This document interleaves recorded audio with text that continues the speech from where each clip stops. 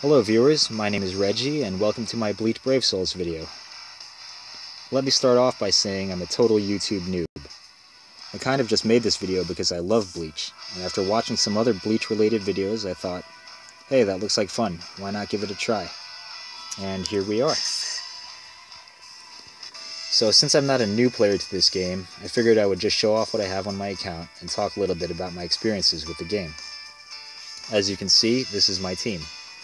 I have three 5-star characters, all max level, and all 100% on the soul tree. Other than that, I also have the 5-star Renji, but I don't really count him since he's a freebie.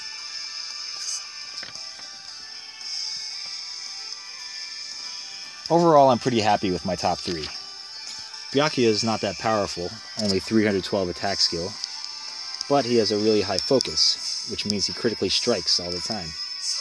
So it balances out a little bit.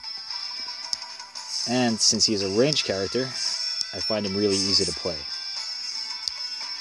He's my go-to character for almost everything.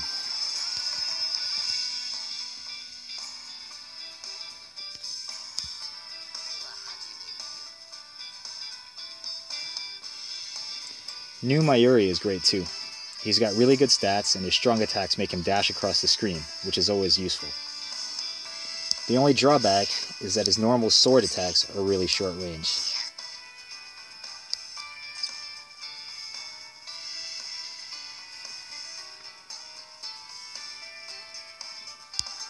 Over here, I have Zaraki Kenpachi. Now I was pretty happy with this 5 star till I saw they released a Kendo Kenpachi version, which is superior in every way.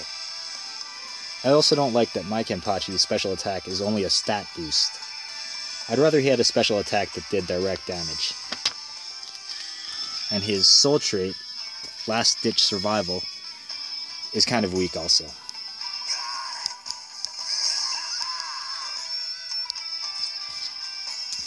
Aside from those minor gripes though, I really like my team. For me, the game is about playing as my favorite characters, and not so much about being the most powerful. Also, my characters are all captains, so they get the team bonus, which is a nice little side perk. They get plus 10 attack and plus 20, 20 stamina. Now, if anyone is wondering how many summons it took me to get these three, I actually went and figured it out.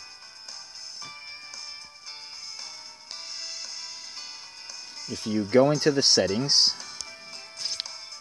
and click on purchase history,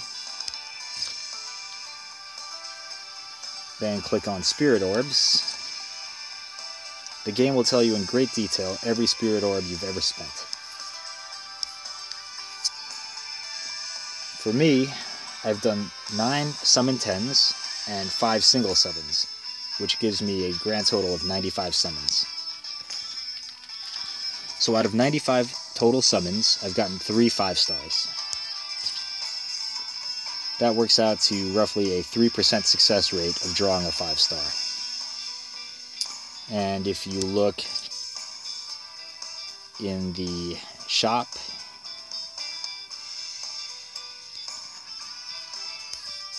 under premium summons,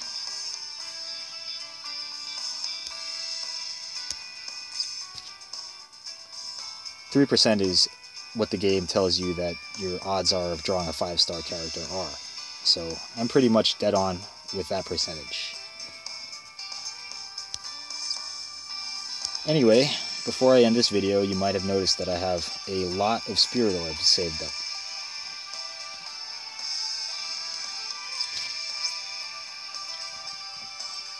Uh, keep in mind that I haven't spent a dime of real money on this game yet. All these orbs have been earned in the game itself.